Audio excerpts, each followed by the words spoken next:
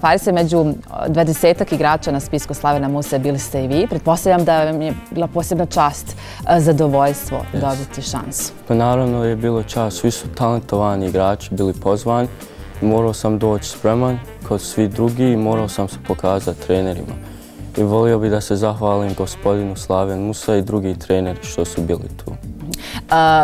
Koliko je pored vas talentovanih mladih futbalera bilo? Svi su bili talentovani zato su bili pozvani za reprezentaciju i svi se morali pokazati za poziciju i svi se morali boriti za trenere da nas mogu gledati. Dakle, konkurencija je velika? Naravno. Bilo je teško, ali mogao sam se pokazati ko svi ostali. Vi dolazite iz Sjedinjenih američkih država, tačnije iz Čikaga, ali kao što sam ja to rekla i u najavi za vaše gostovanje, imate bosansko-hercegovačke korijene. Vaši roditelji su iz Bosne i Hercegovine, tačnije iz Sarajeva, je li tako? Oba dvoje su rođeni ovde i mama mi je očila sa njezirotema oko 80.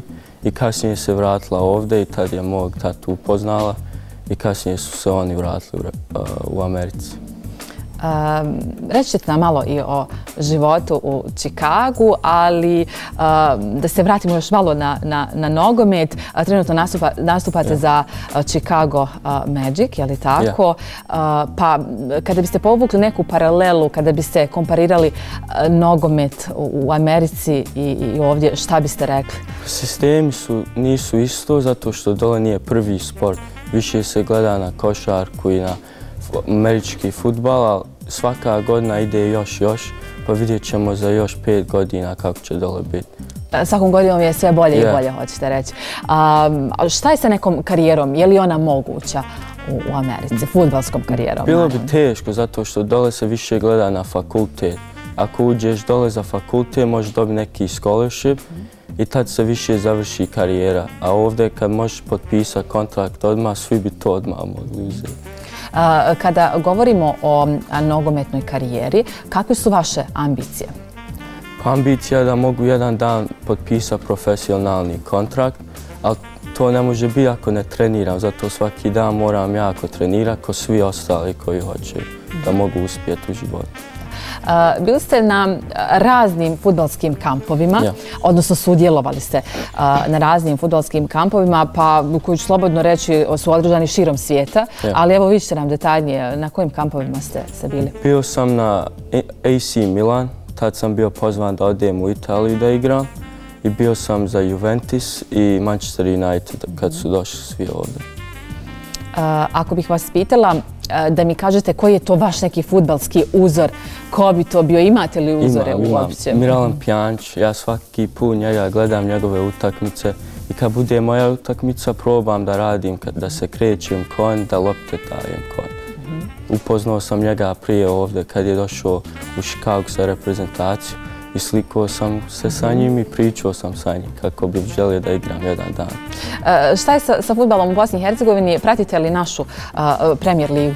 Pa kad mogu gledam, ali nije ista ako dole u Americi. Mi imamo ligu, se zove MLS, se zove, ne znam ako znate, ali je dole teže da se ulazi zato što niko ne gleda puno. A ovdje je više jača liga i boji igrač dolaze ovdje. E, dobro, sada mi recite nešto malo o vašem životu u Čikagu. E, vraćate se već za nekoliko dana. E, kako izgleda vaš život tamo? Pa meni kad dođem kući samo imam školu svaki dan i posle škole imam trening. Ili ako nemam trening idem u teretan. Mhm. I to mi je više samo oko toga svaki dan u životu. Dakle, škola je u fokusu. Ja.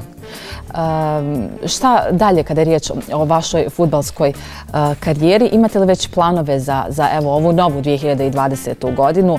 Jesu li u planu možda neki novi futbalski kampovi? Pa probat ću, vidjet ću šta god bude. Zato bi volio da jedan dan mogu potpisati, da se mogu više pokazati ljudima što znaju futbal. I ako bude kamp, probat ću da dođem, da vidim šta može biti.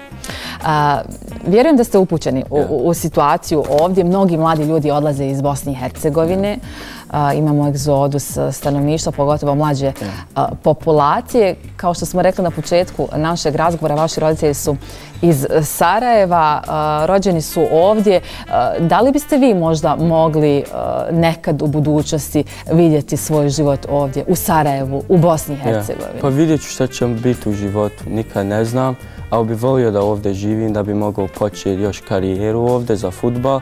Imam familiju ovdje što bi me čekali da dođem. Prijatelje? Nema. Dakle, prijatelji vam jedino nedostaju. Porodica je tu.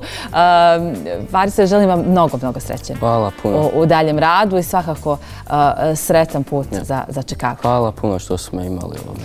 Vidjet ćemo se svakako nekom drugom prilikom. Mnogo sreće u daljem radu. Mladi futbaler Faris Rahić bio gost jutra za sve. Nadamo se da ćemo Farisa vidjeti u svjetskim klubovima, možda čak jednog dana i u reprezentaciji Bosne i Hercegovine.